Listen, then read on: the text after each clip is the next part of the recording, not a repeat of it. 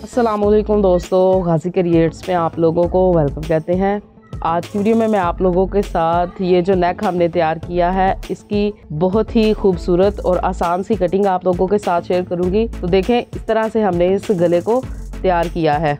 Cut work वाला ये हमने नेक बनाया है। तो पीछे, पिछली वीडियो में मैं आप लोगों के साथ ये जो है मुकम्मल बनाने शेयर कर चुकी तो आज की वीडियो में देखें हमने सिर्फ़ इतने से बनाए हैं और बहुत ही आसान तरीके के साथ आप लोगों के साथ इसको बनाना शेयर करूँगी। और इनशाला बहुत ही जल्द नेक को कमीज के साथ अटैच करना, पिछले गले के दो तीन तरीके आप लोगों के साथ शेयर करूँगी। तो चलिए कटिंग को शुरू करते हैं। तो देखें, इस नेक की कटिंग के लिए हमने नौ इंच लंबा और आठ इंच चौड़ा बुकरम का पीस दिया है। अब हम इसको सेंटर में से इस तरह से फोल्ड कर लेंगे। सेंटर में इस तरह से इसको फोल्ड करने के बाद, अब हम सेंटर में इसको फोल्ड करने के बाद, अब हम यहाँ पे चुड़ाई में तीन इंच पे निशान लगा लेंगे इस तरह से और लंबाई में आठ इंच का बॉक्स बनाएँगे। पिछली बहुत सारी वीडियोस में मैं आप लोगों के साथ सात इंच का बॉक्स बनाना शुरू कर चुकी हूँ, लेकिन इस नेक में हम आठ इंच का बॉक्स बनाएँगे। अब ये देखें, दूसरा निशान हमने यहाँ पे आठ इंच लंबाई में लगा लिया है। इस तरह से इसलिए हमने एक इंच जो है वो इजाफी लिया था। अब हम इसका बॉक्स बना लेंगे। बॉक्स को बनाने के बाद अब हम इसकी गुलाई का निशान लगाएँगे। आप इस निशान को कटोरी की मदद से भी लगा सकते हैं, लेकिन मैं आज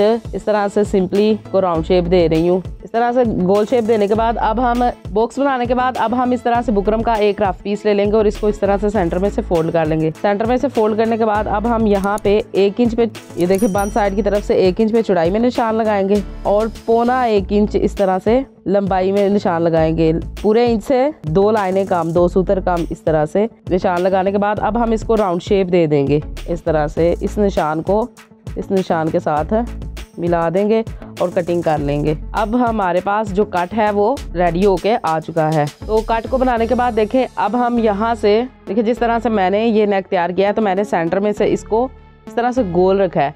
तो अब आपकी मर्ज़ी है, अगर आप इस तरह गोल रखना चाहते हैं तो इस तरह से इस कट को फोल्ड करके तो यहाँ से देखें सेंटर में से यहाँ से इस तरह रखते हुए, गोल रखते हुए और यहाँ से इसको ऐसे रखते हुए गुलाई में बना लेंगे। और अगर हम इसको खोल के रखेंगे, तब भी ये बहुत खूबसूरत सा बनेगा। इस तरह से इसको खोल के रख के तो फिर इसको हम यहाँ पे ड्रा कर लेंगे। लेकिन मैं आज इसको इस तरह से बना रही हूँ। पहला हमने फोल्ड करके लगाया है तो दूसरा अब हम इसको खोल के लगाएँगे निशान। ये देखें इस तरह से। अब इस काट को यहाँ पे रखते हुए यहाँ पे ड्रा कर लेंगे। तो अगर इस, इन काट्स को हम ज़्यादा बनाना चाहते हैं तो फिर हम गले की चौड़ाई भी जो है, वो एक इंच ज़्यादा लेंगे लेकिन मैंने इसको सिर्फ़ हाफ़ तक बनाया है तो इसलिए मैंने जो है चौड़ाई वो पूरे तीन इंच लिया अगर हम इसको बढ़ाएँगे तो फिर हम चौड़ाई भी एक इंच इजाफी कर देंगे। तो देखें, अब हम नेक की जो है ये वाली लंबाई, ये चेक कर लेते हैं। तो देखें, पूरी सात इंचज हमारे पास ये नेक की लंबाई जो है वो आ गई है, इसलिए हमने एक इंच इजाफी रखा था। अब हम इसकी कटिंग कर लेंगे। बाहर की तरफ़ से भी इसको ड्रा करके, इस तरह से। अब हम इसकी कटिंग कर लेंगे।